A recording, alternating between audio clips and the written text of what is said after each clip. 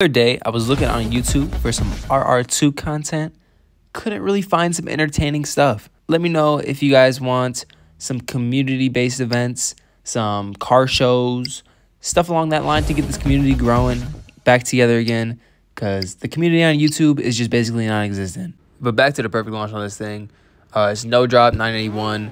The first shift, you're going to want around 6.5, 7K RPMs. I did shift it a little late but uh, I wasn't trying to make this thing perfect.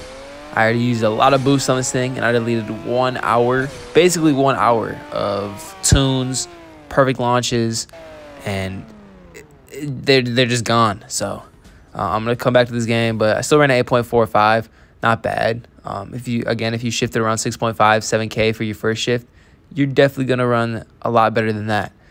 But let me know what y'all trying to see. Some uh, tunes. Definitely gonna make some tunes. Uh, bring back my tunes uh, that I deleted and get those up.